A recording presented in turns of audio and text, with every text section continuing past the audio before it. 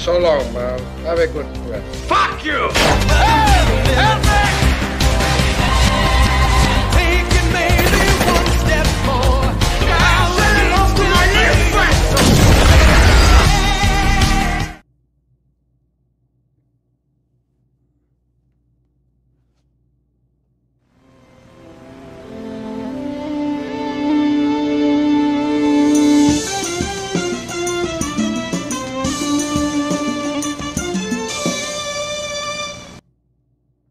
Thursday night, you ask the questions, DT gives you his answers. No holds barred. It's Q&A with Don Tony. This is your chance to speak your mind and be heard about anything. Q&A with Don Tony. And now, your host, Don Tony. Don Tony.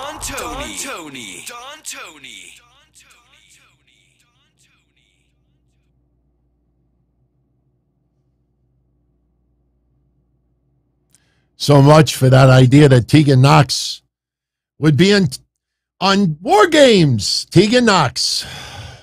Look, I'm not smiling because it's funny. Um, look, when we talked about the last set of WWE releases, you know, I said, get used to it. Get used to it. Because WWE, see, a lot of people still don't get it. WWE, as they go along, they're realizing we don't need 150 wrestlers.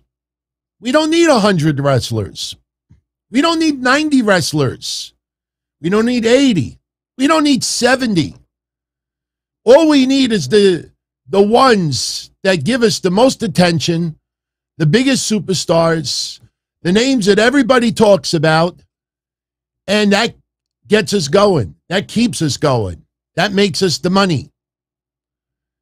People using budget cuts as their focus of conversation, it's now just clickbait and trigger words because we've talked to death as far as how business operates in the billion dollar corporate world and stop thinking that budget cuts means financial problems. I'm not sticking up for WWE.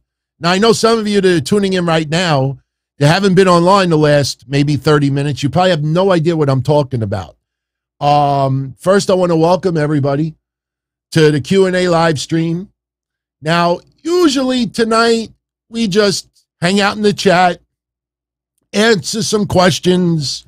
Sometimes I will eat old shit just to make myself look like a goof.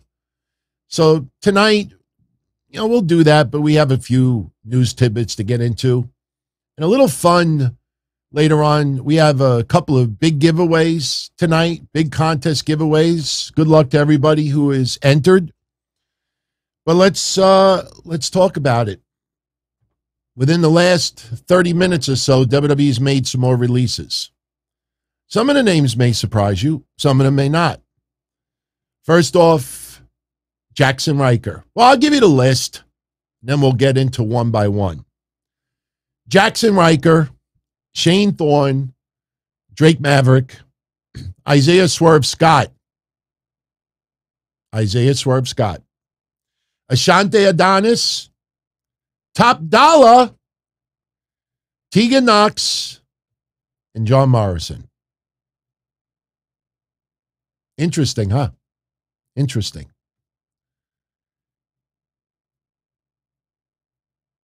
Of all those releases in your com in the comment section later, you can put it in the chat right now.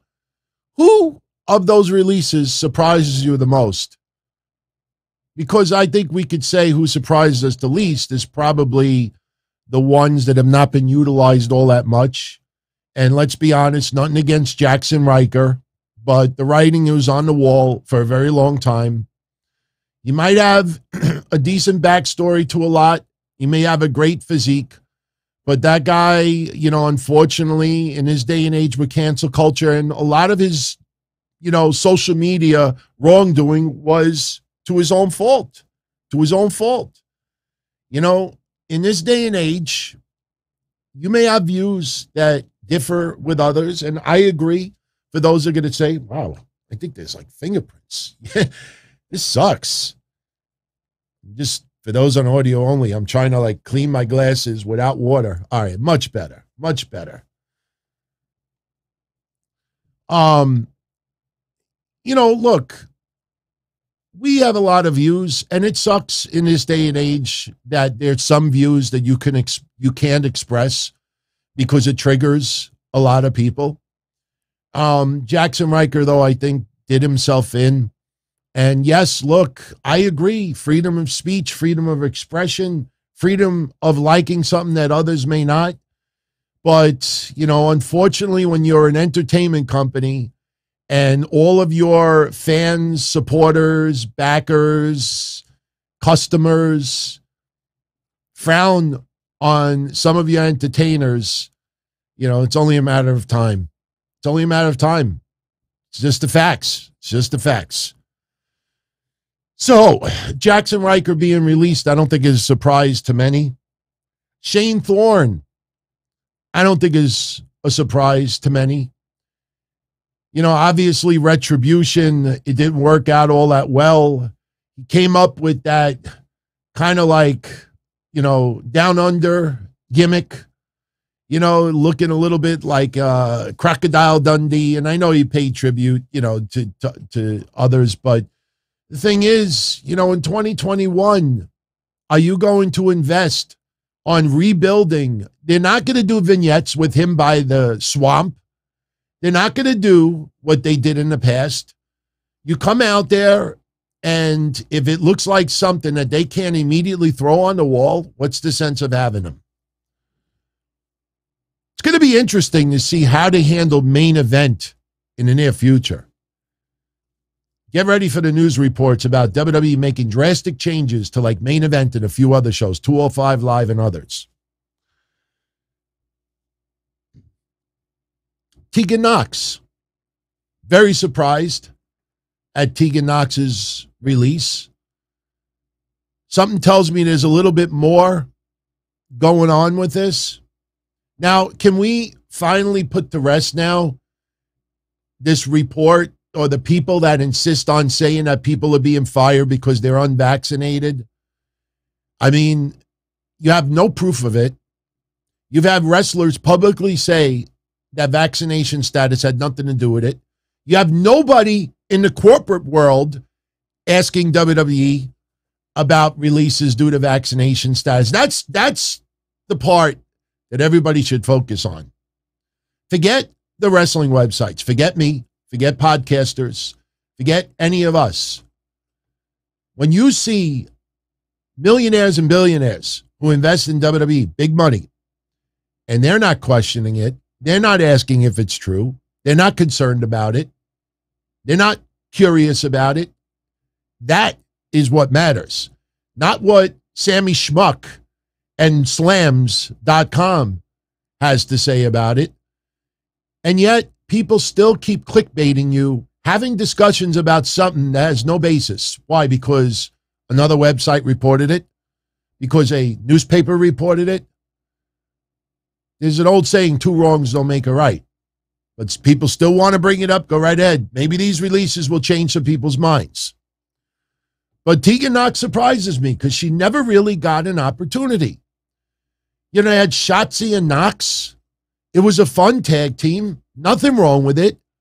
I mean, I think we pretty much can see that the women's tag team division, it's been very lackluster for quite some time.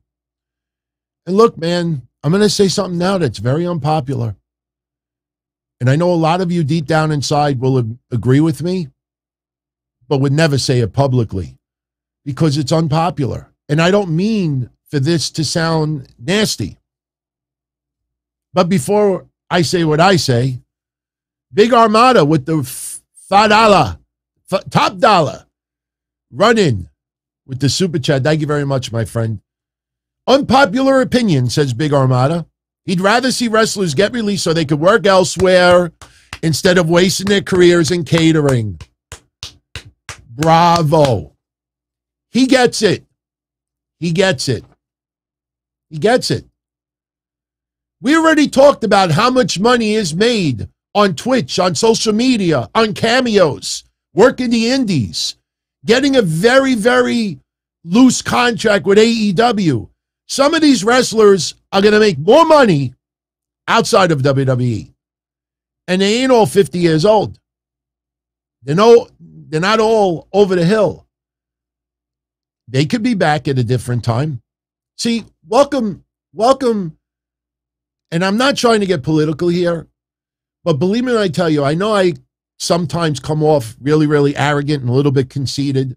But I swear to you, when I say to you that no other show is going to say things like I say here, that's because they just want to go on the emotions, pull on your strings. They want you to scream at the world, the hell with WWE, the hell with John Laurinaitis, the hell with Vince McMahon.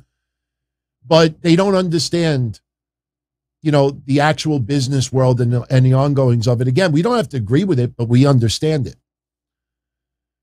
You look at some of these wrestlers, and WWE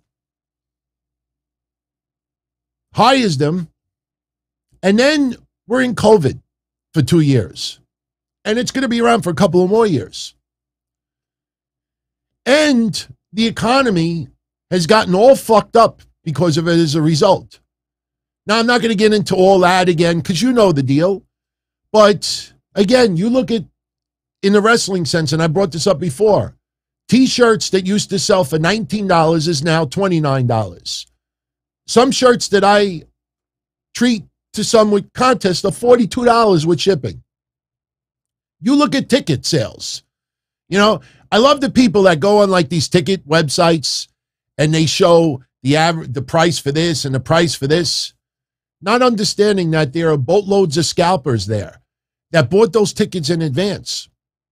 And then you get closer and closer and closer and closer to the show, and their tickets are not selling. And then the price drops. And then the price drops. And then the price drops. There was an AEW event that people were selling tickets for $2.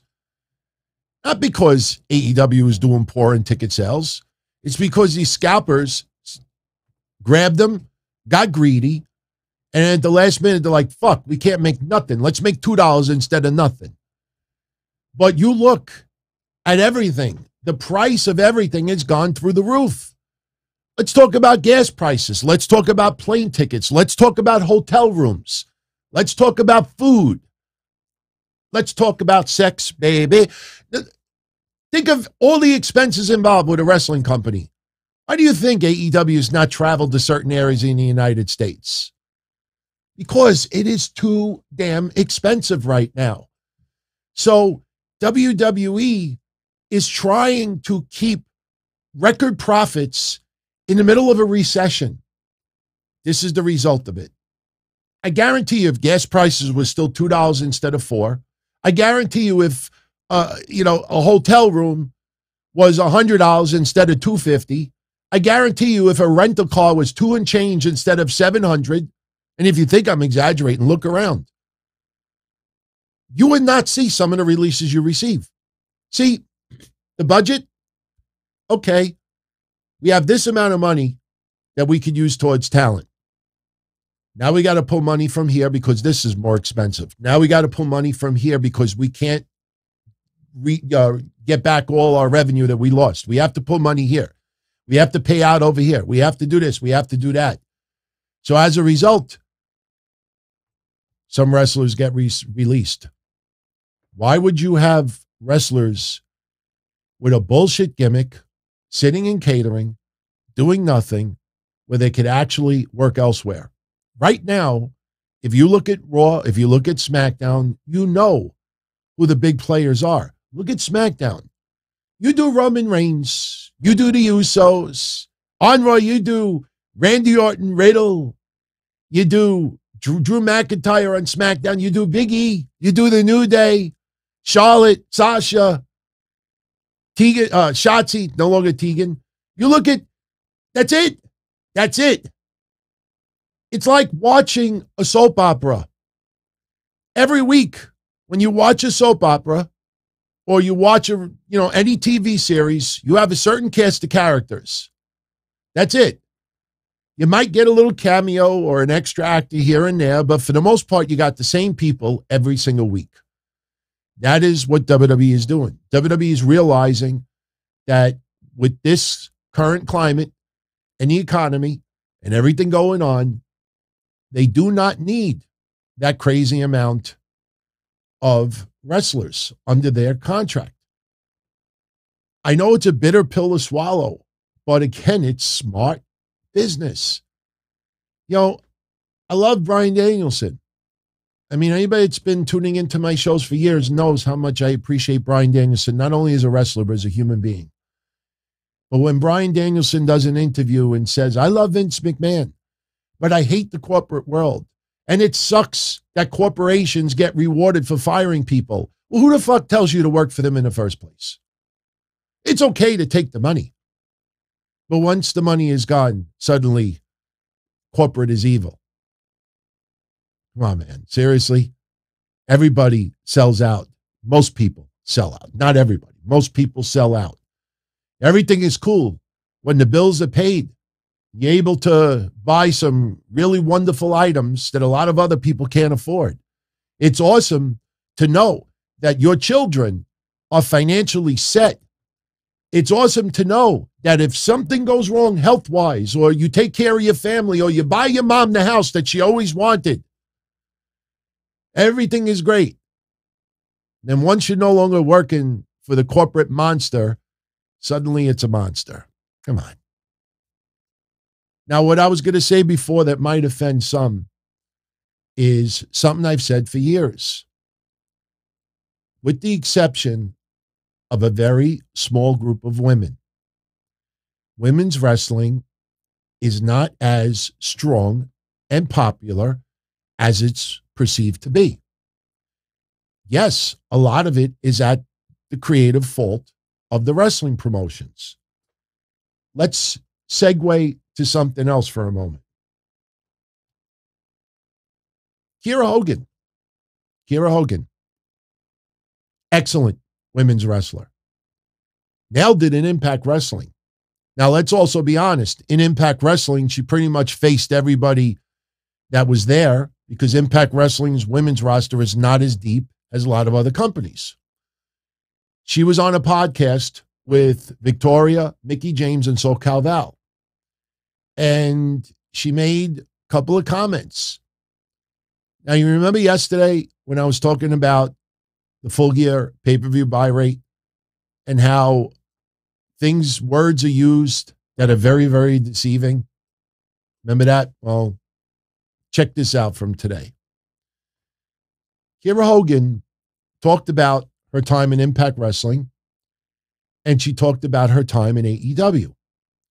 Now, if you go across the net and you look at a lot of these articles, these cut and paste articles, these websites that all copied each other, most of the uh, websites, the title is that Kiera Hogan feels lost in the shuffle in AEW. How dare she say something like that? Triggered the fuck out of the fringe element element of AEW fans. So I'm curious. I mean, on the surface, we could say, duh, duh, look how they've used Kiera Hogan. It's ridiculous how much how they've used Kiera Hogan in AEW. It's a fucking joke, let's be honest. So I clicked the articles. I clicked the first article. I'm like, the hell is this? I go to another website. I click their article. The hell is this? Four websites in a row. I click the articles. And this is pretty much what they show. Now, remember the title Kiera Hogan feels lost in the shuffle in AEW. When I click the article, I get this. My time at Impact, I grew so much in the four years that I was there, and I still feel in my heart that I'm not done yet there because how I left. But at the end of the day, it was my choice. I love Impact so much. It's such a family.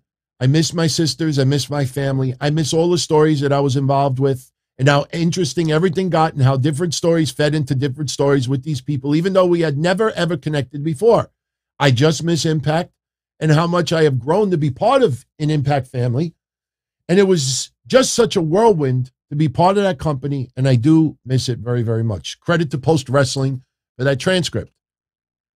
I'm reading that. I'm like, I don't see any negative shots to AEW. I had to find a Spanish website that wrote it in Espanol And then I translated it and I said, aha, aha. No wonder why they didn't want to post the actual comment. This is what Kiera Hogan said about AEW. I like the girls in the AEW locker room. A lot of girls, especially my girlfriend Diamante, worked there before. I worked there, so I was backstage a lot of times helping girls do makeup because I do makeup sometimes. I have a lot of friends in the locker room. They were excited for me to come over. They're like, Are you going to come over here? I want to wrestle you. I want to wrestle you like Tay Conti and Red Velvet. And of course, one of my best friends, Big Swole, Nyla Rose. And all the girls like, We want to wrestle you. I want to have a bomb match with you because I know yeah, I want to have a bomb ass matches with you. So I'm here, but I feel like there's a lot of moving parts going on in AEW right now. So I feel like a lot of things are getting lost in the shuffle. And I feel like I'm one of those things.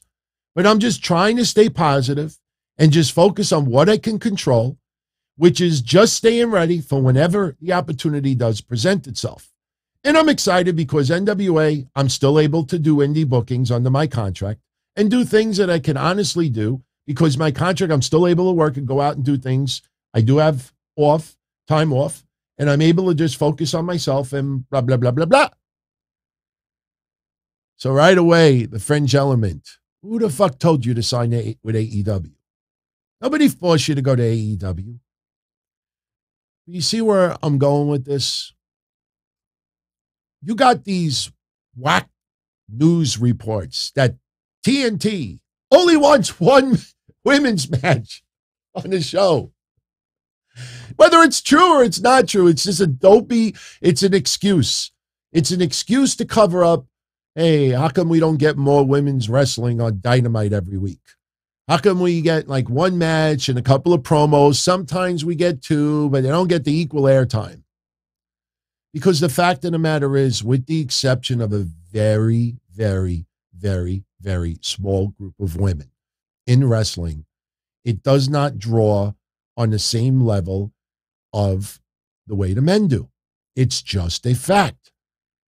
I said it a long time ago. You will never, you will never, ever, for the foreseeable future, I don't even know if it'll happen in my lifetime, you will never see a regular women's wrestling TV series on cable other than maybe a very, very small promotion like WOW or something like that because and I'm talking about the big promotions because what happens what happens with this investment of the women's evolution that WWE has done for the last what seven eight years or whatever number of years it's been? What happens if they go ahead and say okay we're going to do an all women's cable show and it draws 300,000 viewers? Now I have no idea what the numbers we don't even know who would be on those shows what happens? Because everybody insists, everybody, look at all the podcasters out there that put women on their show simply because they wanted a female. They wanted a female's perspective. Sorry, I don't put a man or a woman or somebody in between simply because they're a certain, you know, sex. You put somebody on because they know what they're talking about and they're good at what they say and they feed off the show, not simply because they have breasts and a vagina. So you have women's wrestling, and I support women's wrestling. I have said for years and years and years if the women outperform the men, I don't care if Raw or SmackDown is all women and very few men. When they were doing Becky, Ronda, Charlotte, Becky, Ronda, Charlotte, Becky, Ronda, Charlotte, a lot of it was good. And they definitely damaged a lot of the men's division as a result.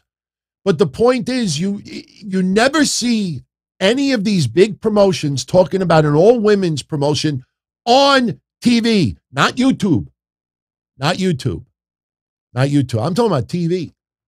Because what happens if AEW or WWE or Impact Wrestling, well, Impact Wrestling, I mean, they can't even get 80,000 viewers combined, men and women. What happens if AEW, WWE puts an all women show on cable TV and it draws pathetic numbers? You don't think that that's a devastating emotional blow for women in wrestling? Like, wow, I guess, you know, we're not as big as we thought we were. Look, there's different types of entertainment. where women dominate more than men. There's different types of entertainment when men dominate over women. I'm not going to tune into a show simply because somebody has breast or doesn't have breast. I tune into the show because I want to be entertained. And you look at WWE when you say to yourself, oh, look at the women's division. It sucks. Look at the women's tag team division. It's pitiful. If they were drawing the numbers that everybody tries to claim, why would it be so horrible? Why would they would liquefy it? Why would they condense it to something almost nothing if it was such a draw? So, unfortunately, those are the facts. Those are the facts. And I blame a lot of it on creative. Look at Kiera Hogan. Look at her record in AEW. It's a fucking joke. Kiera Hogan is a top female wrestler. Look how they use her. Look how they use some of the women there, top women. And they're not utilized anywhere near what they should. Why is that? Why is that? Nobody is holding AEW back. Nobody is holding WWE back to utilize. But you again, you look at WWE, it's Becky, it's Charlotte, it's Rhea Ripley, it's Sasha. Soon it'll be Bayley. And then you throw in Shotzi, then you throw in Carmella, and then you throw in Queen Zelina, then you throw in this person, and that's all you need. That's all you need. Is it surprising? No, it should not be surprising. So let's get into the rest of the releases. Drake Maverick. I like that guy. He got released the first time around.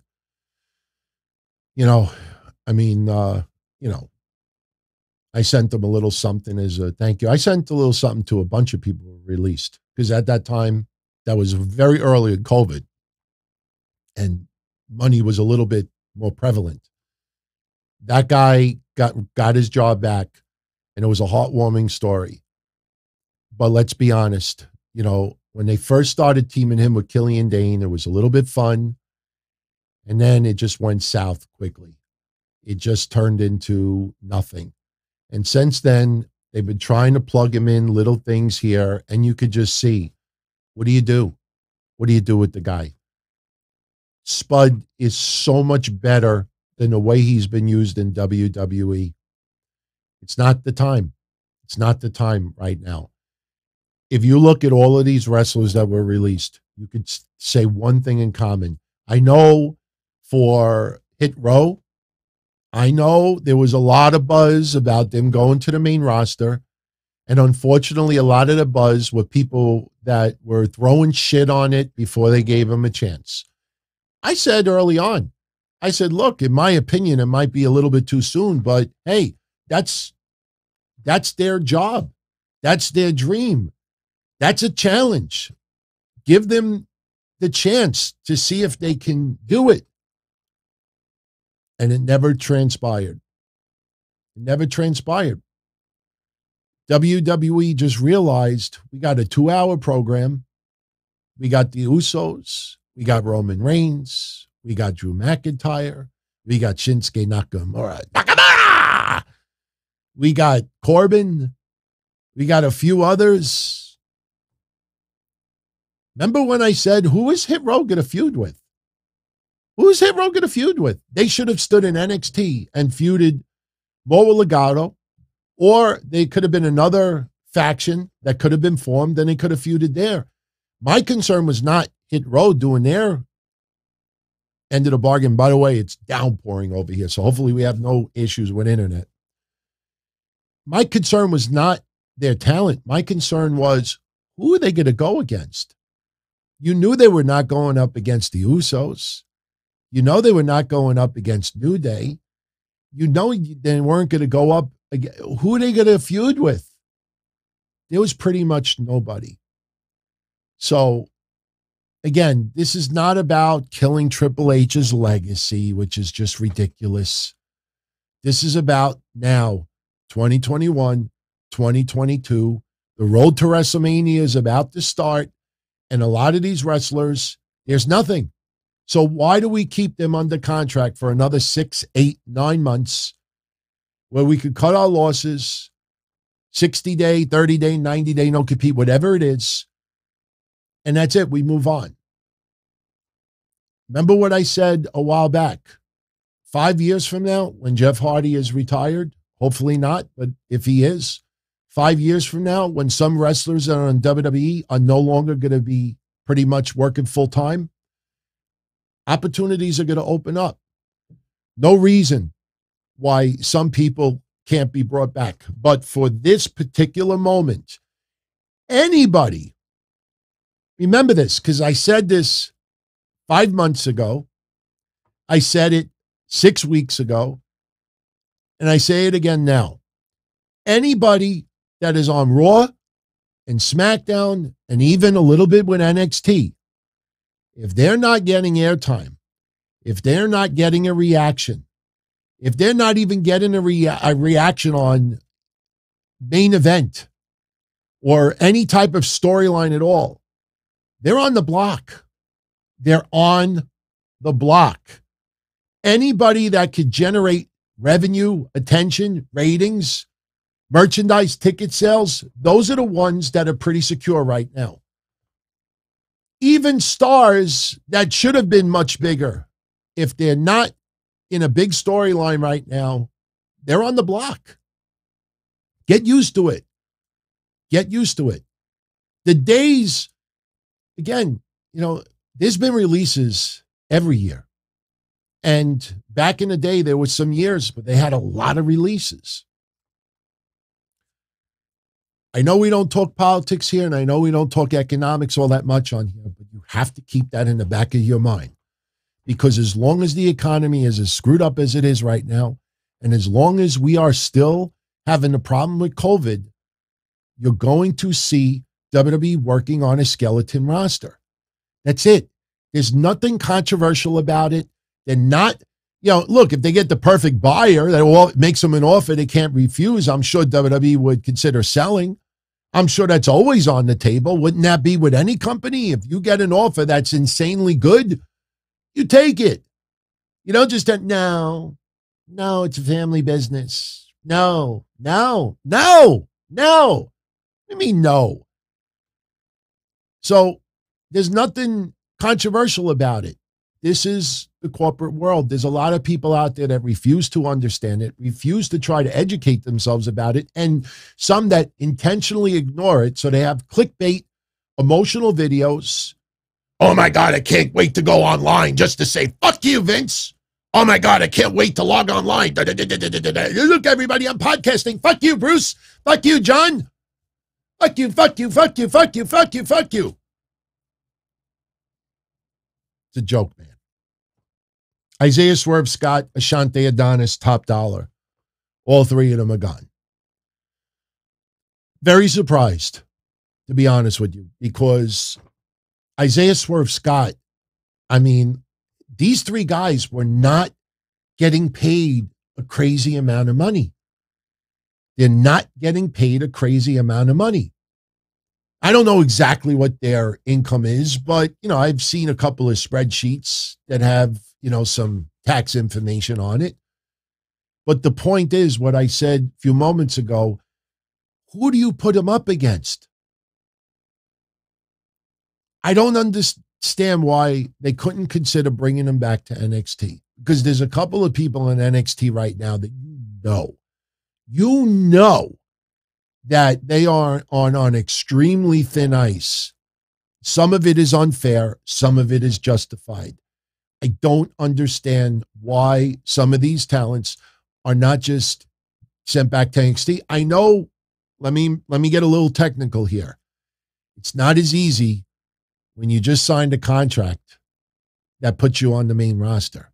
Yes, there is a contract with NXT that is different from the main roster.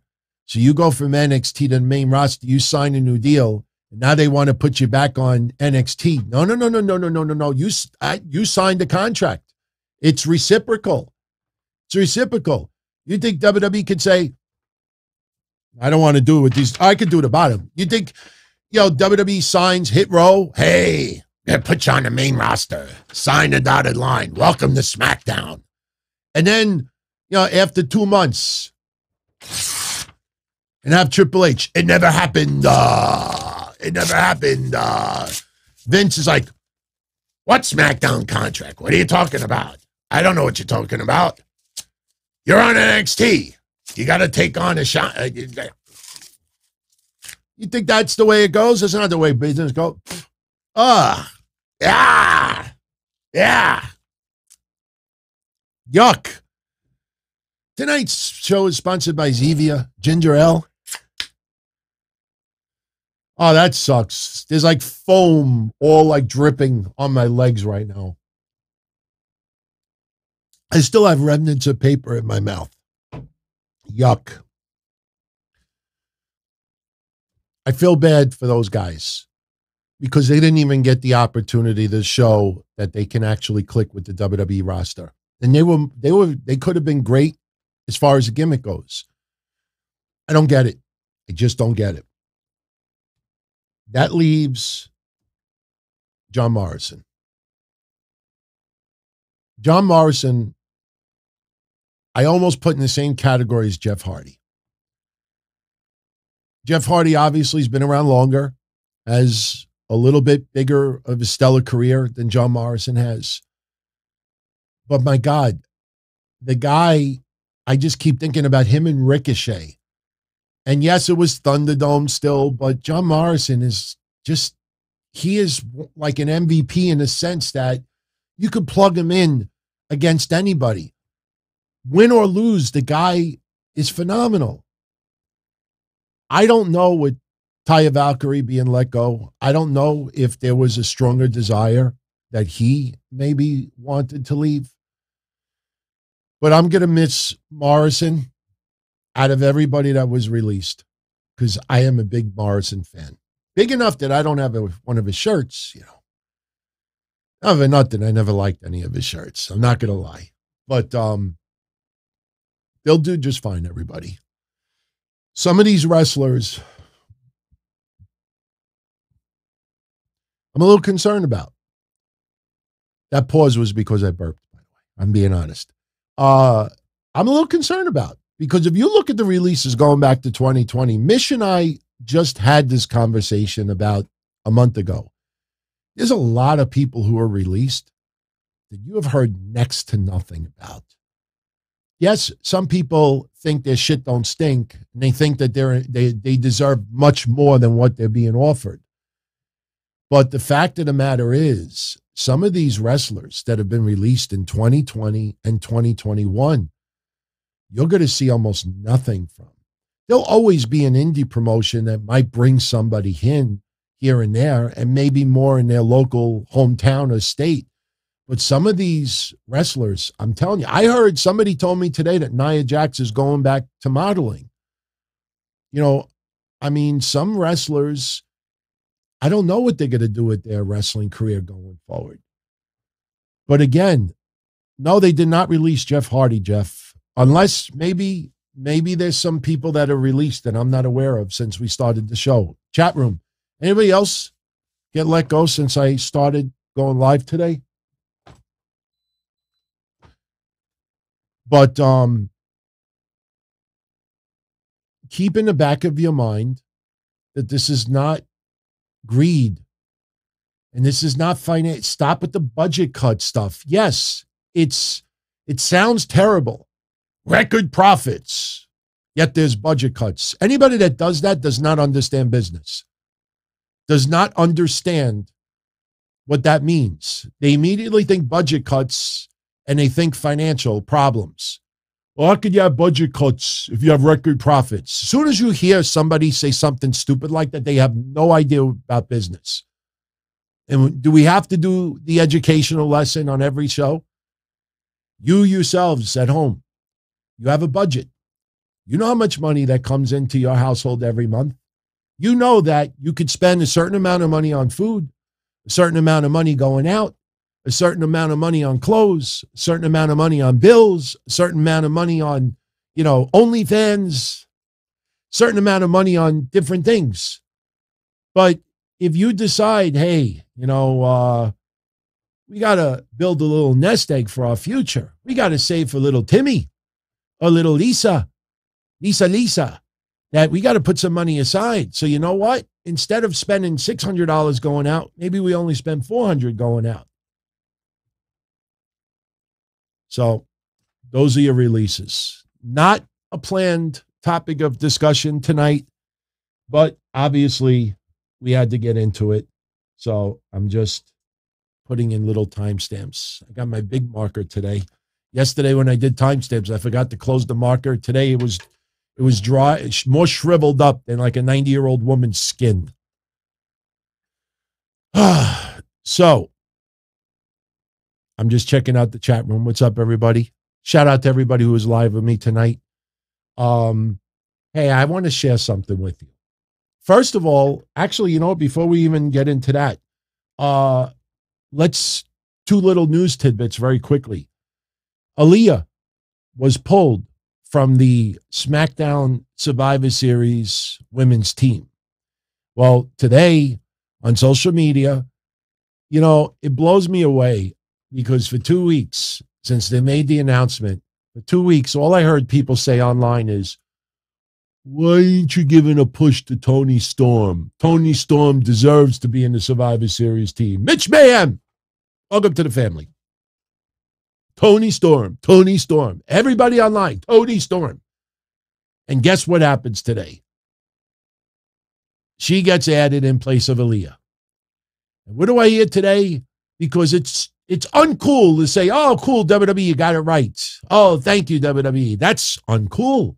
Instead, oh, she's not worthy to be announced on TV. What do you don't think they're going to announce it tomorrow when they do the preview, the lead into Survivors? They're not going to mention it. People, it's so uncool to just say, oh, we got what we wanted for a change. So Toni Storm will replace Aliyah in Survivor Series. Good move, WWE. Good move. AEW's rating 984,000. We talked about it yesterday, and um, I think my prediction yesterday was like 940 or 950. He did 984, increase of about 5% from last week. Not bad. Not bad at all. Um, I'm very, very happy that the rating went up at period because there was a little bit of concern, you know, with Hangman Page, his first dynamite as AEW heavyweight champion. You know, if those ratings go down, that just doesn't look good at all. So I am really happy that the ratings went up a little bit. But I want to share something with all of you. Something that I have a feeling a lot of you out there already know this. But believe me when I tell you, a boatload of you out there do not know this. Now, for entertainment purposes only, no contest. For those in the chat room right now, you are welcome to play along. And I'm curious to see what your answer is. I have realized, and I have thought about this for a while, but it was only today that I decided to actually check it out to see if my perception was correct. And it was there is a um, don't want to say a banned word in AEW, but there is a word in AEW that they absolutely hate to say, that they cringe whenever forced to say it. They never say it unless there is an, an out of the ordinary reason why to say it.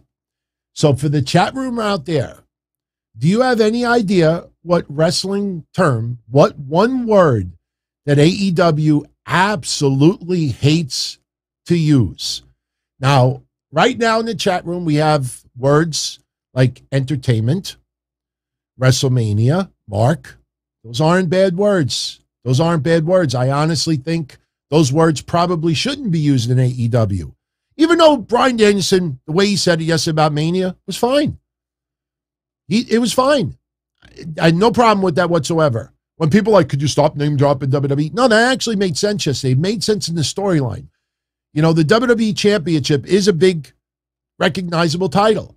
So in storyline, when Hangman Page, look, the day after I won the championship, I was wrestling. You're not. Excellent point. Okay, we got strap. That's not bad. Undisputed. Medical facility is two words, Darren. Superstar. Okay, good words. Good words. Not, not, yes. I agree, Mike. New York, WWE botched hit row big time. Totally fucked him up. And look, I know Top Dolla had a little bit of controversy online, the Jinder Mahal rap, and some social media and some journalist podcasters going back and forth. I like Top Dolla. I like the guy, the guy, AJ Francis. I fucking like the guy. I hope that guy turns around and kills it somewhere else. Seriously. Put him with the acclaimed. I'm checking. Okay. Lee says sports. All right. Well, I'm not going to say if anybody got it right or not, but I'm going to show you their Twitter account right now for reference. And I think a lot of you out there are going to be like, no shit. It is a word that you probably don't realize that AEW despises, despises, cringes, hates using. And it's not a goofy word. When I post the word, you're going to be like, motherfucker. And you know why most of us never notices it? because everybody else says the word. Get ready for this. I think this is worthy that a lot of you out there are going to write about this on other websites. And trust me, I did a Twitter search. I didn't find one Twitter account that ever posted this. If I have to, I'll do a Twitter search live. I'll put the screen and on the screen, you see for yourself. Lisa's laid no, I think AEW stars get laid. All right. What I'm going to do right now, I know it looks a little bit unprofessional, but I cannot see the chat room for a brief moment. I am currently, here we go. We're on Twitter right now. I like that I can do this. We're on Twitter right now. For my audio only friends out there, you do not have to go check out the video because I will give you a little bit of play by play. Right now, I am in Twitter and I am in the section that says advanced search. So we are going to type in one word, one word on this advanced search. And as you can see, it, it we're going to put, now that's obviously my Twitter account. We're going to put at AEW. That is on the screen right now. So any word that I type in above here it if I use AEW as the search term, they're gonna it Twitter is gonna look at AEW's social media account and they're gonna find all the posts that match up to this word. Are you ready? Trust me when I tell you, this is worth it because again, no one else out there has written about it. And I started picking up on it a couple of months ago. We've kind of talked about it indirectly in the past, but I had no idea that AEW hates the word so much they never write it. And here is the word heavyweight.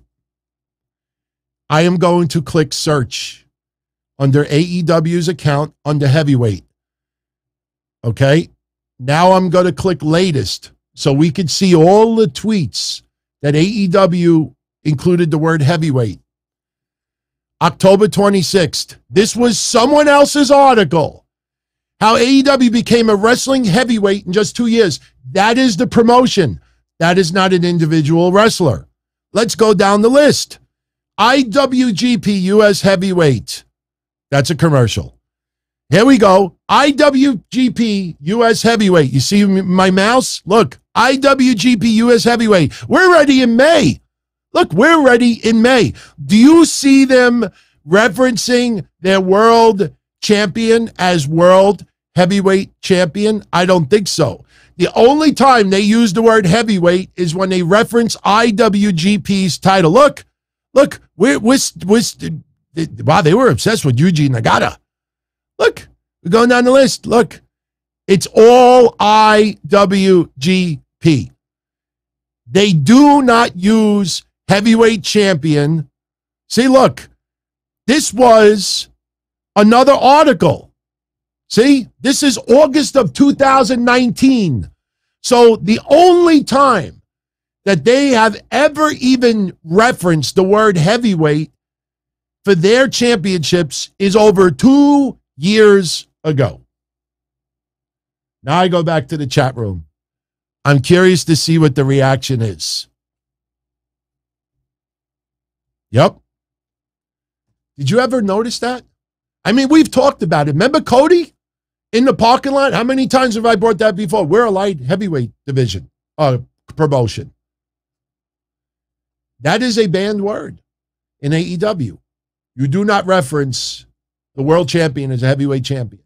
If you look on their Twitter, going back over two years, they refuse to use heavyweight unless it's another promotion's belt. Bet you didn't notice that. Bet you didn't notice that. Okay, there's an article. Taya Valkyrie lashes out over John Morrison's release. Well, that tells me that John Morrison wasn't looking to be let go. Look, I think Scarlett said it best tonight. Guys, gals, the water is warm. You ever like go to the beach or you go over a friend's house with the pool and you look at the water, you're like, and somebody says, no, no, no, no, the water's warm. Come in. The water's warm. That's what Scarlett's message is to everybody today. And it is. It is. Like I said before, I feel bad. Even before Taya Valkyrie vented on this, I feel bad for John Morrison the most because he entertained the fuck out of me with his return. And he deserved a hell of a lot more. I don't like using the term you deserve it. You deserve it. But that guy gave 150%, no matter who he was fighting. Deserve better. Deserve better. RMJ 23, you missed all the contests. You missed everything. You missed everything, my friend. No, we had a bunch of releases again today. Again, as we move on, I'll repeat something I said a few moments ago. As long as we're in this economy and as long as we're still in COVID, WWE is going to work on a skeleton crew. And if you are not bringing anything to the table, if you're not generating any good interest, good interest, not talk good about me, talk bad about me, just talk about me. If you do not get a lot of fan interest, if you don't sell merch, if you don't get a lot of buzz, if you don't get a crowd reaction, if you are just there, there's no more sitting and catering. There's no more for that. Any wrestler that is on the roster right now that is not doing much, those wrestlers, male or female, are on thin ice. So if two weeks, three weeks from now, oh God, it's Christmas time. If anybody else gets released, you look at those names, stop with the fucking, oh, COVID, no, va- no vaccine, no employment, no, no shot, no shot. You think Vince says to him, Did you get your shot? Oh, I didn't get my shot yet, Vince. No shot, no shot. You're fired. Stop that. Stop that. It's the economy, stupid. So, I got news for you, Mike. Reggie actually does get a lot of reaction online, more than you think. It's a little surprising. And Reggie is making almost no money. I mean, the guys in Top Dolla were not making crazy money, but Reggie was ma- is making even less.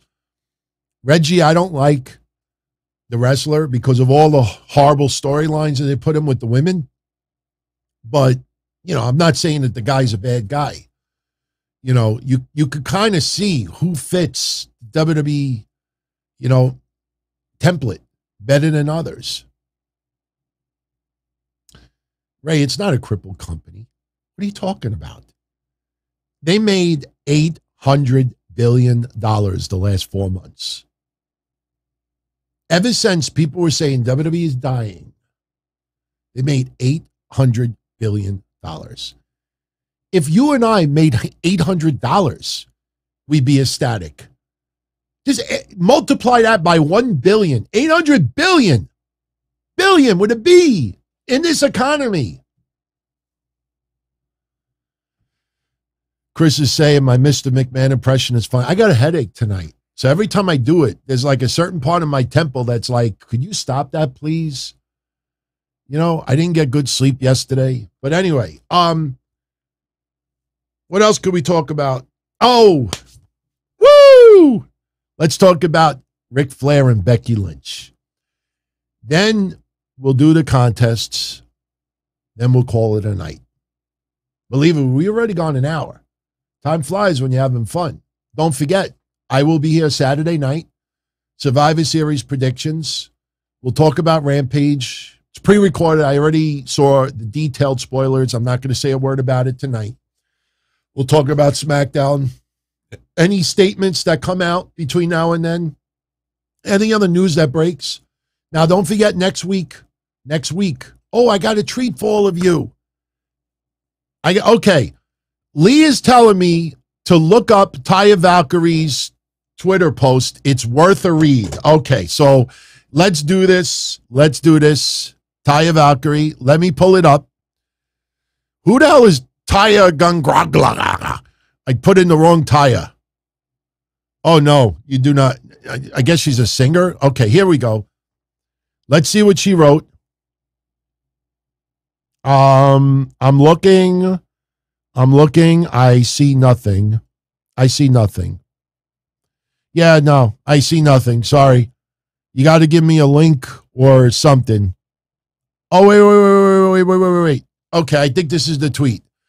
Lee, is this the tweet where she says, and I quote, stop supporting a company that has zero respect for their talent?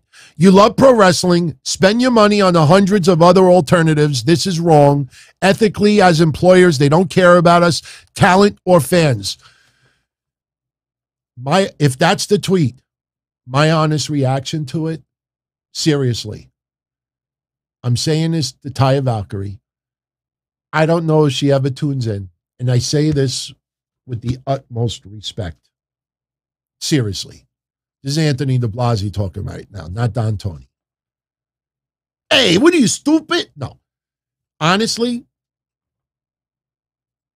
where are these wrestlers been?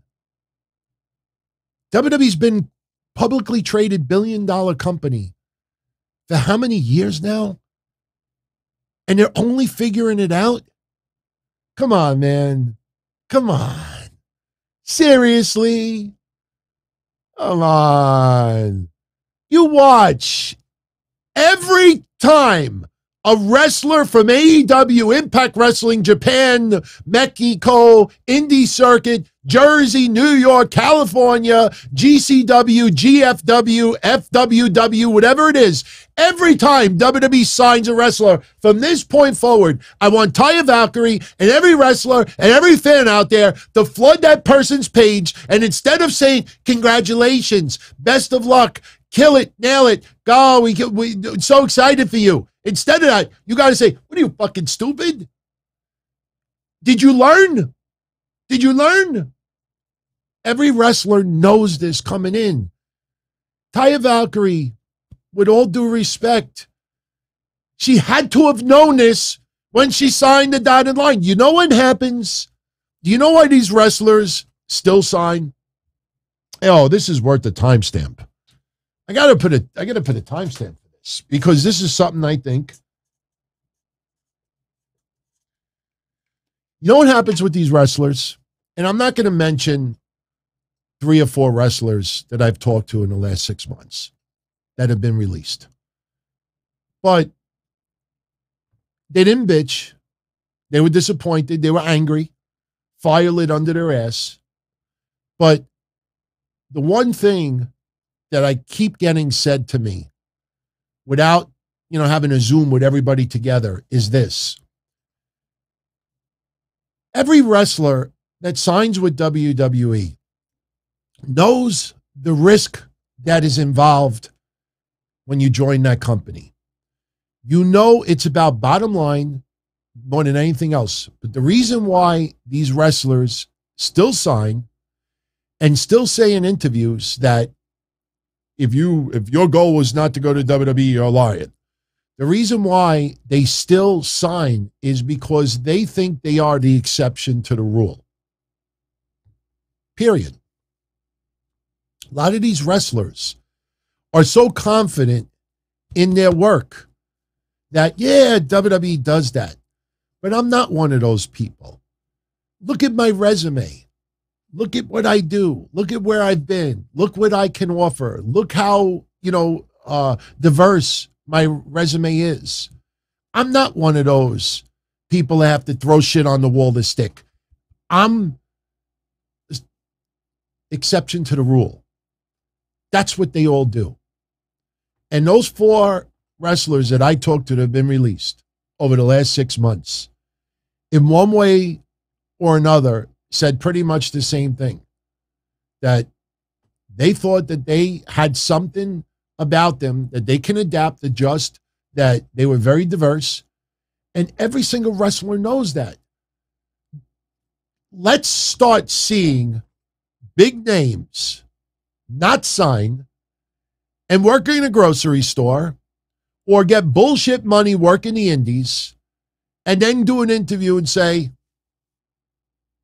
WWE offered me six digits.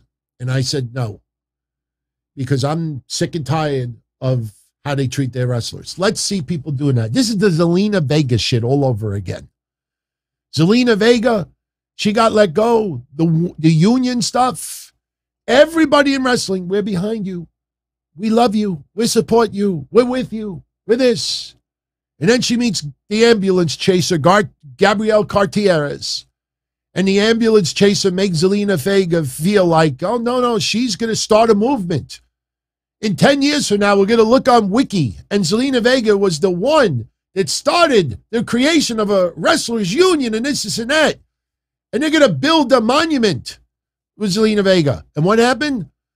Zelina Vega said, You with me? Guys. Hello? Where'd you go? Anybody? So easy to type emotional tweets. You'll get 5,000 likes. You tell them until the next person signs. Fuck out of here. Seriously. That's my honest feeling on it. Taya Valkyrie is right. Say that to every person who signs with the WWE going forward. Let's see them Tell Gable. He's already signed. What are you fucking stupid? How could you stay with that company? How could you sign with them? When they sign the next sports athlete that's not a wrestler, I want to see all of these people, including all of you that feel that same way. For all the people I keep saying, fuck things, fuck you, fuck you, fuck you, fuck. I want you all to flood those wrestlers, the next person that signs a WWE deal, and cancel them out. What are you fucking stupid? What are you dense? Did you learn anything? You deserve it. If you get pushed like shit, you deserve. It. They won't do that. They're gonna do this. That's the truth. That's the truth. You will see in a couple of months, WWE will sign a few more people to independent deals. Oos, Sikoa. You see some people that'll get signed, and everybody will be like, oh, that's fucking awesome. Oh, that's amazing. That's so sweet. Oh, you should be in the bloodline. Oh, that's awesome. And then they get released. How can WWE treat them like shit? Why do people keep signing it?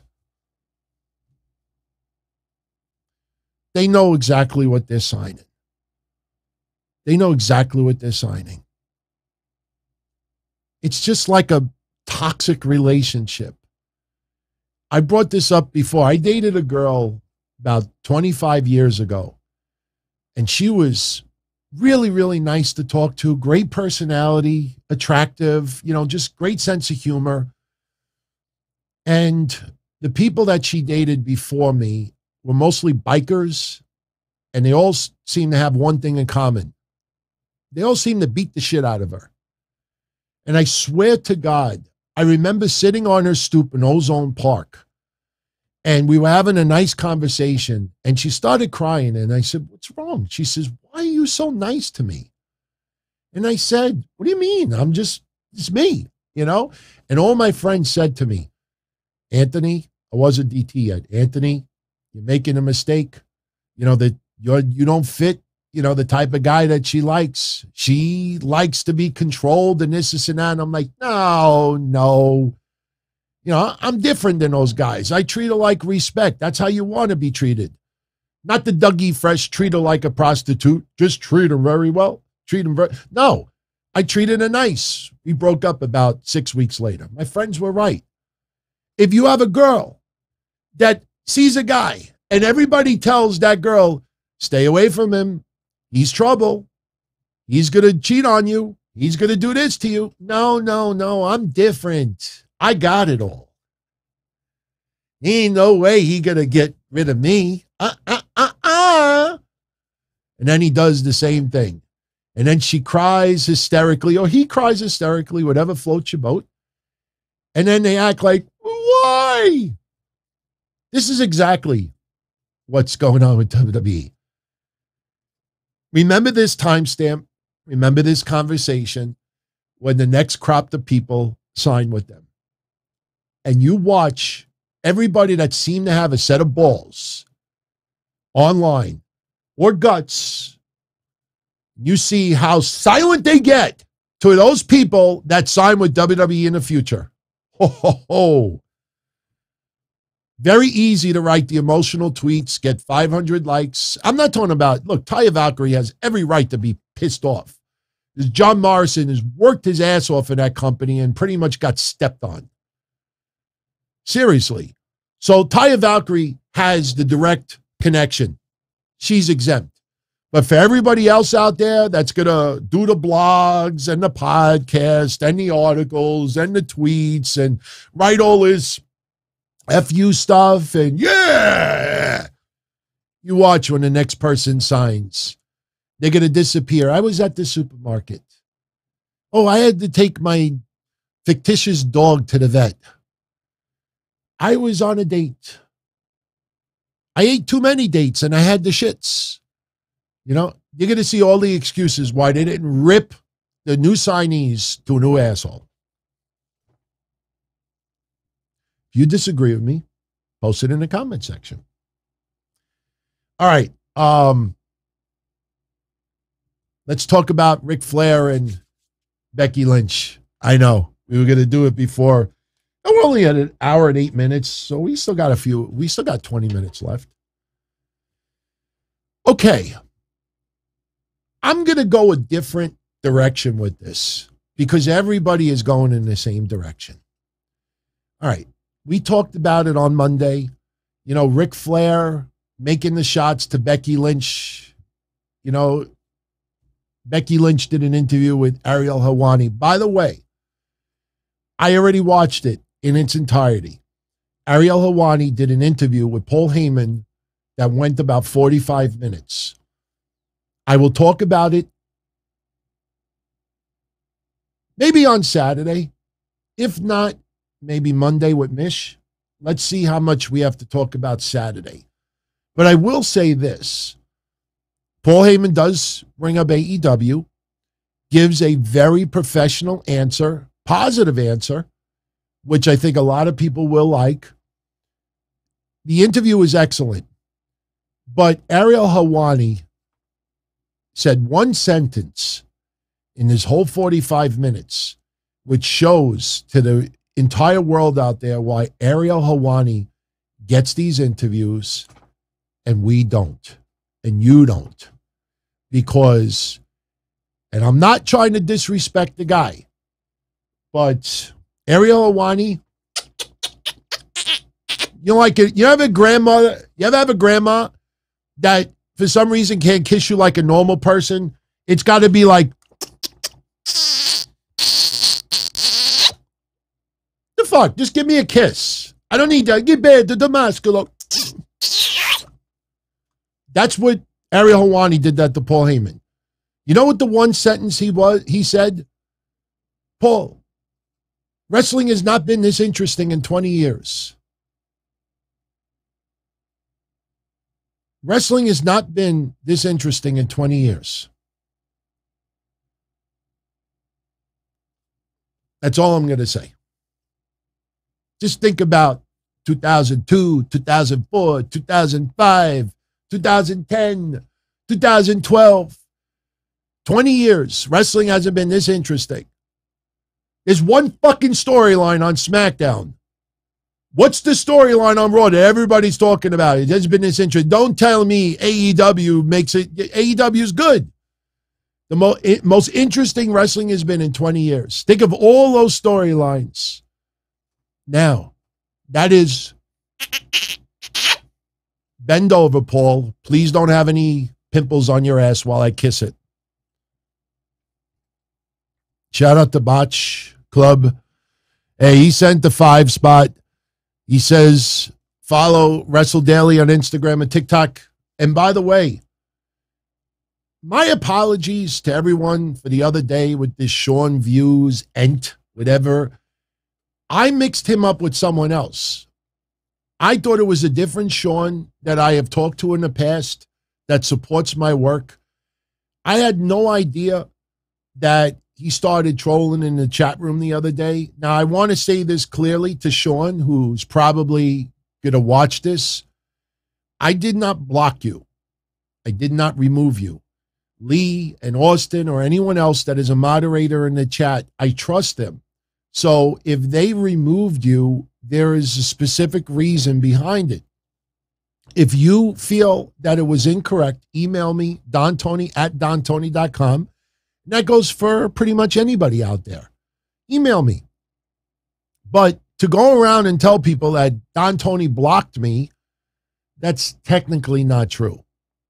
Trust me, if I block someone, I will say it. I will say it. Right, AJ? And that's not Francis or Styles or Lee or uh, Mendez. None of those. He knows what I'm talking. Well, if Sean was putting himself over, know, I don't know. I mean, mute people, mute them.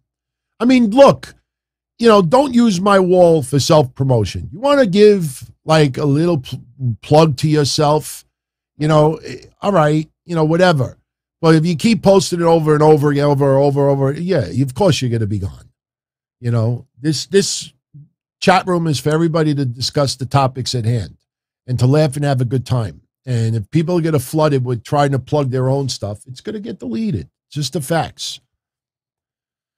All right. Ric Flair and Becky Lynch. We talked about it a couple of days ago. Ric Flair throwing a couple of jabs at Becky Lynch. Well, Becky Lynch did an interview with Ariel Helwani. And like I said, I'm going to take a different direction in this.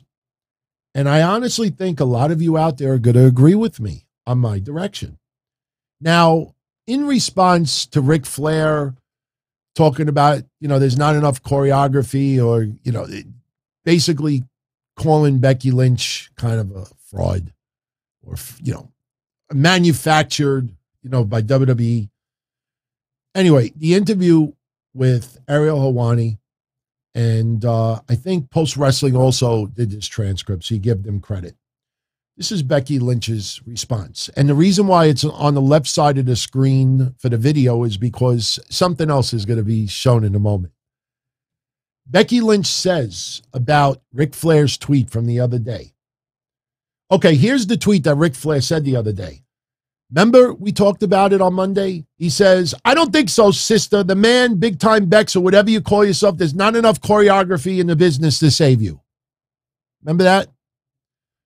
Becky Lynch's response was, and I quote, Look, I saw that tweet.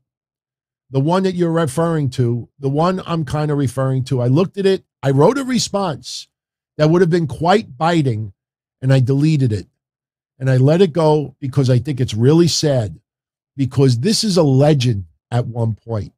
This legend, a 16 time world champion, Ric Flair, is now jealous of me. It's cool for me. And now trying to use me to get clout to promote whatever he has going on next because he's dug himself in a hole with other things. So I kind of was just like, ah, let him out let him out of it because it's kind of sad. It's kind of sad. That is Becky Lynch's reply. Junior Jackson, I could care less people wishing death on Vince McMahon. Those are people just looking for attention, looking to get the likes, making them feel that they're, you know, wanted, acknowledged. They want to feel good. They want to feel popular. You know, it's like the nerd in grammar school who does stupid shit so everybody could laugh at him. Oh, look, I'm popular. Everybody's laughing at me. I'm funny. No, you're a goof. Everybody is laughing at you because you're pathetic. That's how I look at those people online. Ric Flair's response to Becky Lynch. And I'll then tell you my reaction to this. It's not what you think. Ric Flair says, and I quote, so disappointed. I did this out of respect for you.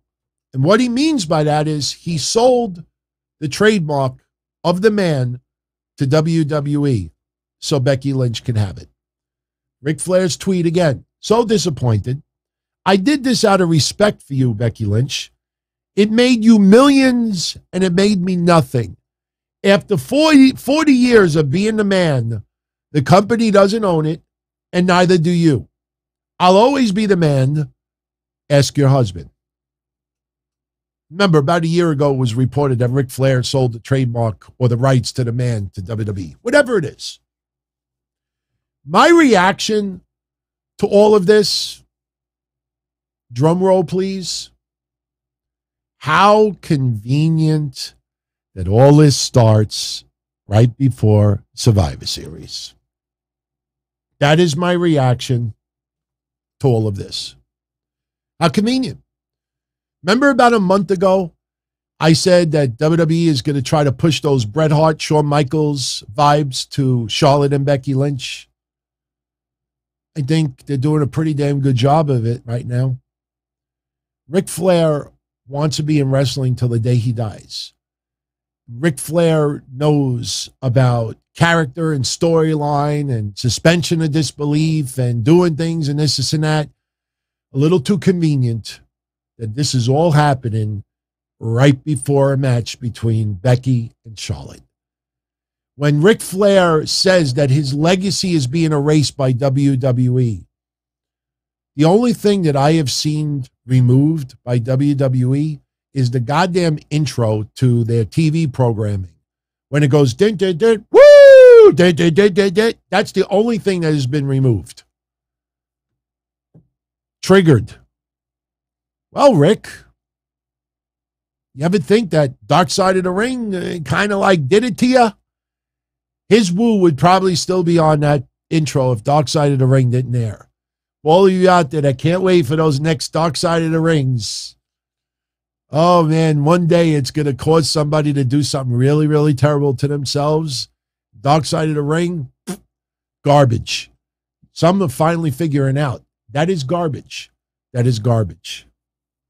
They have some decent shows, but sorry, you don't get extra credit because you do a beautiful show about Kanyon, but you're an absolute dick to play gotcha stuff in other topics. Fuck you. Seriously, fuck them. Yeah, his Car Shield commercial still there because Car Shield has a deal with USA Network and Fox, not with WWE. So that's my honest take on Ric Flair and Shaw and uh, Charlotte and Becky Lynch. This is all about Survivor Series. Let's see if all this feuding continues a month from now. Let's see. If it quietly disappears, you know, I'm sorry, you know, an, an upcoming interview, oh, I'm just not going to talk about him anymore. He's not worth my time. That's because Survivor Series is now over with. I don't know what you all think about it. Ric Flair also made a claim that WWE has two of his title belts. You know, I'll look into it. You know, he's going to do uh, his podcast. Little convenient. He launches his podcast. Now suddenly, you know, I want my belts back. It's all about promotion, man. I think everybody's figured it out. It's all it's all about timing. It's all about timing. I mean, you figure it out. No, so fly. I don't think it's all a work. I think there's legit tension. But everybody know knows what's going on. You got Survivor Series coming up. And this is to intensify that friction between Charlotte and Becky Lynch. You know, sooner or later, Charlotte is probably going to have some retaliatory comment to Becky Lynch about her dad. And this is all too, co- too convenient that it happens right before Survivor Series. So let's do the contest. We'll start wrapping it up. By the way, I I said earlier I got a treat for all of you. Check this out. Next week is Thanksgiving. I will be away either Wednesday night, and if I do go away Wednesday, obviously there'll be no Wednesday night dynamite next week. I, I as of right now, I'm not leaving until early, early, early Thursday morning. So I leave Thursday morning, that means there's still going to be a show on Wednesday, but definitely next week. There's going to be no Q and A next Thursday. There's going to be no live stream on Saturday, and the week after will be the launch of the sit down. I have decided. So two weeks from this weekend, we'll finally launch the sit down, and that will remain for good. So for all of you out there that love the pilot, two weeks from this weekend will be the official debut of the sit down, and it will remain. It'll be strictly a call in show. And if you have not checked out the pilot yet, go check it out. It was freaking awesome. I don't think it could have gotten any better. Now, I was thinking about doing it on Sunday, but we got Survivor Series. So this weekend, I'll be here Saturday. I'll be here Sunday. I'll be here Monday. And I'll be on Patreon too. So we still have shows left. But here's the treat. Even though there's not going to be any live shows Thursday, Saturday, and Sunday next week, we are going to record an episode. If you would like to be part of the first ever rapid fire on YouTube video, in the community section right now on YouTube, there is a thread up where you can leave your rapid fire questions for this special episode. Mish will be on with me. So, any rapid fire you have for yours truly or Mish, get it in by Sunday night at midnight because Monday afternoon, Monday afternoon, Mish and I are going to record the episode in advance and it'll be released to all of you on Thursday. So it'll be set up on a timer. So Thursday comes, boop, it'll be released. Now, I will stress this because I don't want to hurt anybody's feelings. If you don't know what rapid fire is, Google it. Because if it's an answer that takes more than 10 seconds for us to answer, it's not rapid fire. So you could ask 20 questions as long as it's in rapid fire format. Um, we did one on Patreon about two or three years ago. We answered, I think, 250 questions in a matter of like two hours. So you have until Sunday night at midnight to post your questions because Monday afternoon we are going to do the rapid fire. Of course, our channel members and, and members of the family, their questions will be answered first. It's only fair. But yeah, rapid fire. Yeah you know, like just simple things. Anything you ever wanted to know about us personally, professionally, something like favorite wrestler, favorite pay per view, favorite food, whatever it is. You don't know what rapid fire is, Google it. Because I already saw two people that posted questions. I'm like, yeah, sorry, that's not rapid fire. So, you know, we want to just have a fun episode, not think about it, fly through all the questions, and have some fun. So that'll be on Monday afternoon. Monday night, we'll still be here for Breakfast Soup Raw, so have no fears. Also, before we do the contest, check this out. This came out today. That is actually a screenshot from the video game. I, as much as some of you may dislike Goldberg, that's pretty promising to see the graphics. Now, yes, yes, fucking half the roster is not going to even be in the game anymore. I think you will still have some wrestlers in the game that were on the roster who are now released. I know there's going to be some sad irony about it, but hey, you'll be the GM because you have GM mode. So if you're kind of bitter still about Keith Lee, you know, you could have Keith Lee become the heavyweight champion. Hopefully, they don't implant any storylines in the game where, like, uh, Keith Lee is about to fight whoever the 2K22 champion is and then the doctor comes in. he's like, uh, Keith, I, I got some. I got. Have Wade Barrett come in. I got some bad news, Keith. You're not cleared. You're not cleared. They need a video game to come out like that with some really fucked up, real, real storylines. Not that. I mean, we're not joking about that. I love Keith Lee, but um, I think some people will still be in the video game that are released. But I tell you, you know, uh, this is very promising. You know, more will come out in January, and January will be here a lot quicker than you think. But um, I'm a, I'm a little excited for it. It's better than that battleground shit. Damn, I thought that battleground was going to be great. Man, I remember when I said on this show when we got the early teaser of it, I'm like, wow, this might be the first wrestling game I get in a long, long time. And before I got it, I said, ah, let me see what other people think about it. And they're like, it's goddamn awful. It's awful. Thank God I didn't waste my money. Yeah, GM modes are fun. GM modes are fun. You know, especially when you can just sit back and let, you know, your players or wrestlers do all the work. So, but um I, I tell you this much for any of you that are younger, maybe like in your 20s, you have no idea what you missed 20 years ago. I'm telling you, if you go on Wayback Machine and click in my website, wrestling news.com, I know a lot of you know it as dontony.com, but it's actually wrestling news.com.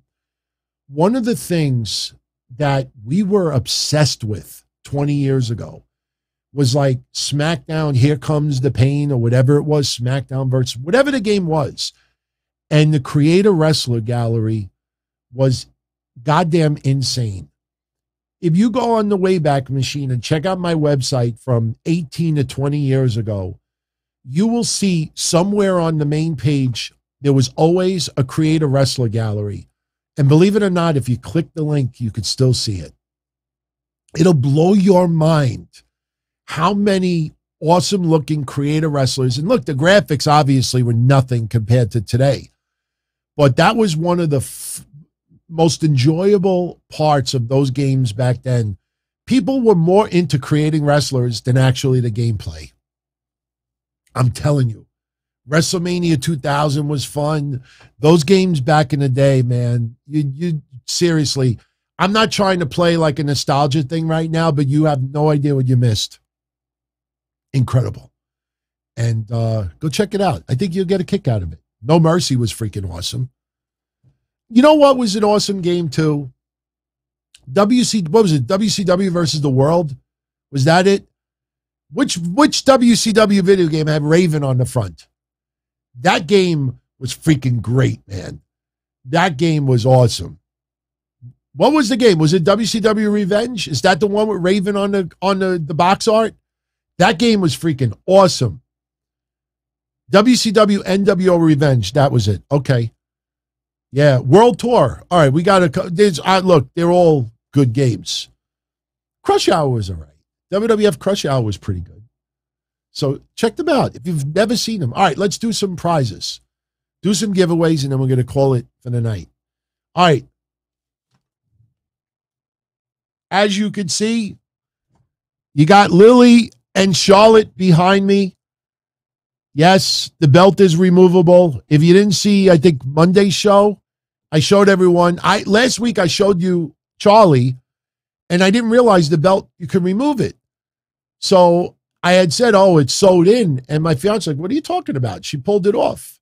So yeah, there's a magnet. I don't want to remove it from there because they look pretty cute together. Somebody's going to win them both tonight. Somebody's going to win the Charlotte doll, uh, the, excuse me, the Charly doll and the Alexa Bliss Lilly doll. they didn't come up with a goofy laugh for Charly. You know, I kind of re, kind of disappointed at that. You know, they should have did something with Lilly where you push like the ass and it chuckles. I mean, I know that sounds kind of perverted. It's not meant to be. Or the tummy. You push the tummy. Like people used to call me, um, oh, what was that? Oh, they used to, when I was a lot heavier, used to call me the Pillsbury Doughboy.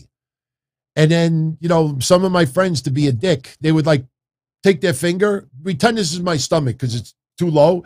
They take my stomach and they would go, so it's like, oh, no, no, no. That's not funny. It'd be like this, like you grab somebody's ass.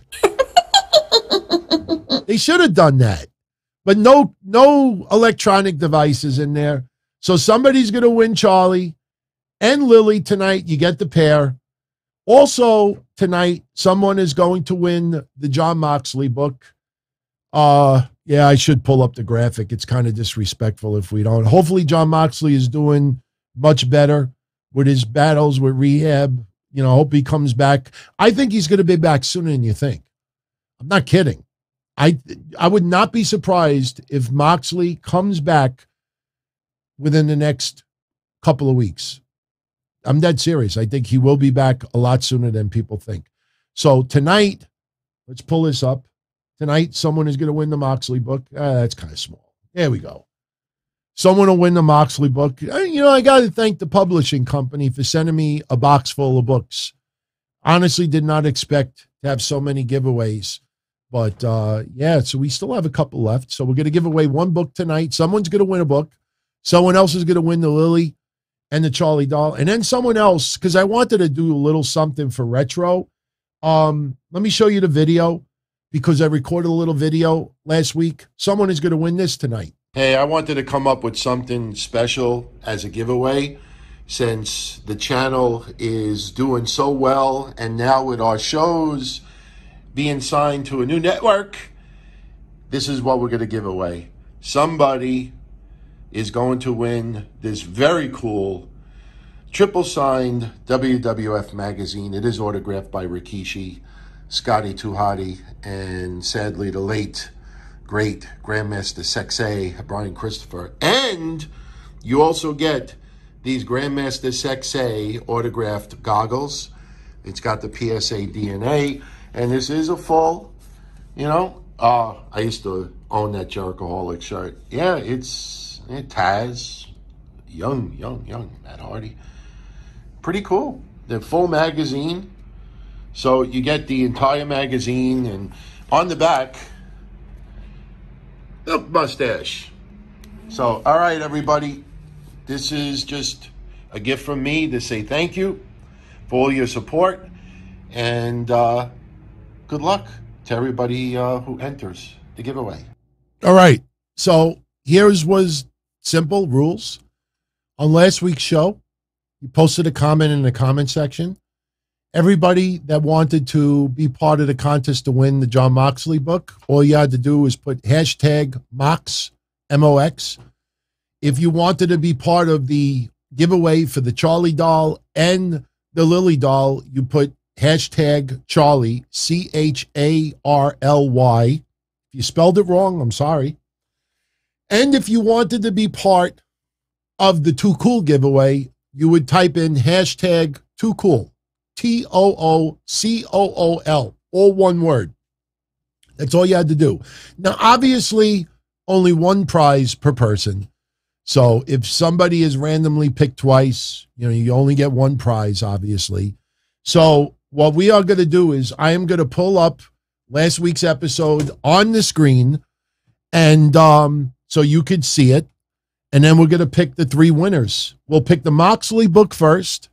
We'll pick the dolls second, and we'll pick the too cool last. Now, if you win and you decide you don't want your prize, you have two options. You could either put it back in the pool, and we'll give it a back, we'll give it away on a, the next episode, or if you have someone else in mind that you want to give it to, by all means, you could do that as well. If you win it, you want to throw it up on eBay, go right ahead. It's yours. You do whatever you want with it. So, this is last week's con uh last week's episode just to show you that this is current. I'm going to type right on the top WWE releases Morrison. Obviously, I can't predict the future. So, obviously, you know that this is current. So, now what I'm going to do is we're going to go over here and we're going to select pick a winner. Now, uh, this is just for a shout out. This is not for a prize, but here I have to type in the hashtag in order for it to randomly pick a winner. If I pick someone right now, then this is not for a prize. This is just practice. Shout out goes to VJ. VJ would have won something, but obviously, VJ, we didn't put the hashtag. All right, so now we're going to go back here And obviously, see Mike Awesome. Well, you're deceased, but I do like the Michael Jackson emoji. All right, now let's do it for real. Let's go to pick a winner. Comment must include hashtag Mox. So now when I click that green button, it's going to search all the comments from last week and it's going to randomly pick one. So congratulations go out to Sean Bedard. Sean Bedard, you won the Jon Moxley book. So congrats to you. Now we go back here and we're going to go and we're going to type in hashtag Charly. Now, if Sean's name comes up again, you already got your prize. Unfortunately, you do not qualify for the next one. So, congratulations goes to Brian Nova. With me bringing back retro shows, can I please bring up the Going Up Don uh, Don Tony episodes? Yeah, they're coming back. Absolutely. You know, they're kind of revolutionary. And I didn't realize how long ago some of those were. But thank you for the kind words and congrats. You win the Charly and Lilly dolls. So very cool, very cool. All right, we go back for the last one. We gonna pick. So we're gonna put hashtag too cool. And then we're going to click pick a winner. Congrats goes to George Ford. George Ford. I know some of you out there just kissing, being, well, I shouldn't say kissing ass. Nobody kisses ass here. You're being very kind for your words. Unfortunately, we've had people say, DT, you suck, and they won the prize anyway. So, George Ford, congrats, my friend. You win the Too Cool package, the, the uh, autographed magazine and the autographed goggles. So, those are your winners. See, I know the way I do it is a little primitive, but you would be shocked how many contests online that are fake. I've been online since the beginning of the internet, and I've come across a lot of people that have had wrestling shows that they used to give away PlayStations, Xbox, video games, money, belts. Now, there is a website that does belts. That is legit. I know I think Jason Solomons usually picks the winners. That website is legit. I'm not including them in this. But you'd be surprised how many websites, and they do it on Twitter now. They do it on Twitter. What they'll do is they'll say, okay, you got to follow me. You got to tweet a, a picture. You got to post a comment. You got to write this. You got to blow me. You got to do it. You got to do like 10 things. And then, oh, we'll randomly select somebody from Twitter. There is no program where you could select it live. So what do they do? They either have a burner Twitter account or they have a friend that has a burner Twitter account and they'll pick someone else. Or they pick one of their friends or somebody that they're involved with the shows with a fake account and they don't give the prize away. Sometimes they just pick a name, some, not every contest is fake. I want to make that clear. Not every contest is fake, but there is a hell of a lot of people out there that just do this stuff just to get hits, just to get attention. And at the end of the day, they don't give away nothing. They don't give away nothing. So, but anyway, um, I'm going to jet out of here. We're at an hour and 40 minutes. Very manageable. And uh, look in the comment section. Let me know what you think about the releases. Which release are you most surprised about? For me, again, it's Morrison. Well, you know what? Uh, I, will take that back. John Morrison is the one that pisses me off the most. But of all the, the people released, I would say Isaiah Swerve Scott. I, I would say him because that guy. Now, look, let's also be honest. You remember what I said? That NXT North American Championship run that he had was garbage. It was garbage. It was garbage. They did nothing with the championship. If the guy was so awesome in WWE's eyes, you don't have to prove it to us. The guy was great. But if WWE was so behind that guy, why didn't they do anything with the belt? That should have been a warning sign right there. And you almost think now Think about this. I'll leave you with this. We talked about it before that Top Dolla had nobody to feud with on SmackDown. Nobody. Nobody. Makes you wonder that when NXT going back to their roots, going back to pure developmental, that did they take some people off of NXT so they would not be involved in current storylines and they would be used for a little while. And unless something magical happened, they were going to be released. Don't be surprised because this is how the sausage is made. You're going to read at least one or two websites that are going to say that WWE had planned to release some of these stars months ago. Because you ask yourself, why promote them to the main roster just to release them? You're going to see some places reporting that. I think that they removed some people from NXT. So when they started the 2.0, they wanted it to be focused on these stars, and you have to bring them somewhere. So they brought them to the main roster, hoping that lightning would strike in the bottle in a matter of a month. It didn't happen. And they're like, all right, that's it. We're done. That's what it feels like. Totally unfair. But remember, the next person that signs with WWE, all of those people yelling and screaming right now, let's see if they flood the signees with all what are you stupid? Did you how could you sign with them? After what they're doing to everybody else. You watch how everybody turns their back and looks the other way. So everyone, have a great Thursday night. Have a wonderful Friday. Enjoy Rampage. Look, again, I read the spoilers. Sounds like a good show. I think Rampage, no reason why their numbers don't rebound a little bit. They got to get back to 600,000. I mean, you know, I always said 550 to 750. It's going to fluctuate. No reason why they shouldn't get at least 600 or close to 600,000. I'd be happy with 580. We'll see what happens tomorrow. Enjoy SmackDown. It's going to be the final SmackDown before Survivor Series. I'll be up here Saturday giving you my Survivor Series predictions. Um, we are going to do a predictions contest on YouTube for the channel members and on Patreon. And then I'll be here Sunday night with your Survivor Series recap. And don't forget the rapid fire.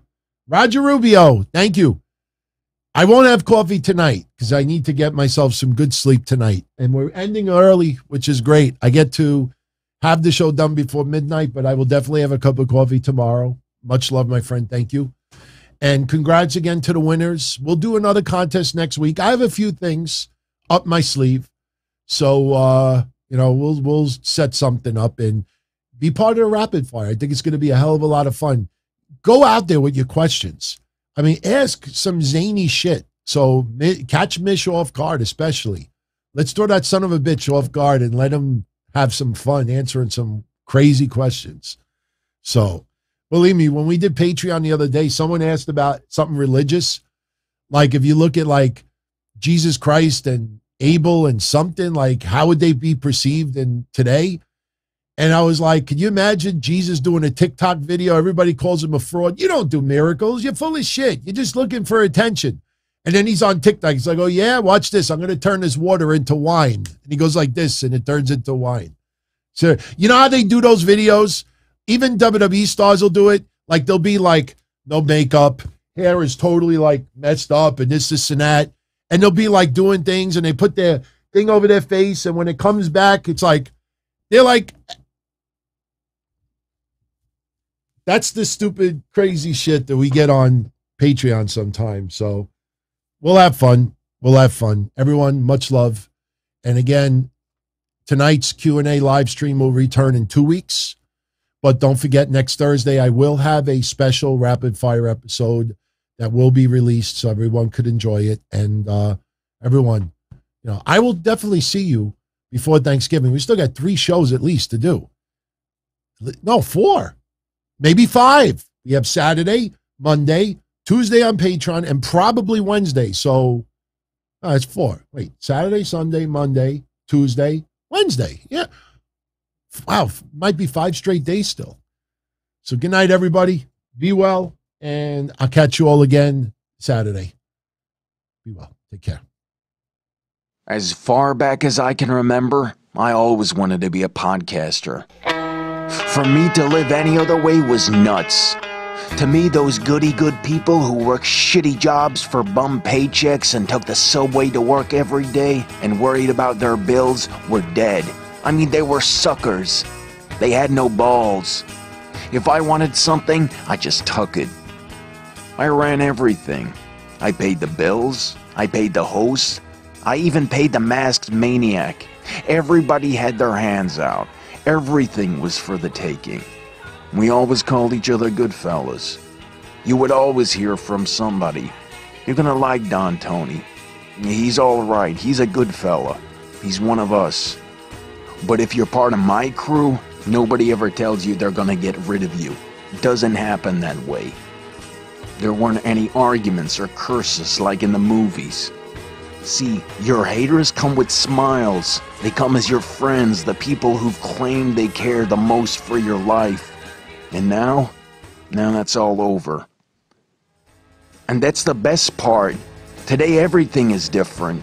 There's lots of action. I don't have to wait around for everything like everyone else. Oh, I didn't get the vaccine? Fuck you, vaccine me. Oh, your delivery guy has COVID? Fuck you, feed me. Right after I moved here, I ordered egg noodles and ketchup, and I got spaghetti with meat sauce. I'm no longer an average nobody, while they get to live the rest of their lives like a bunch of schnooks.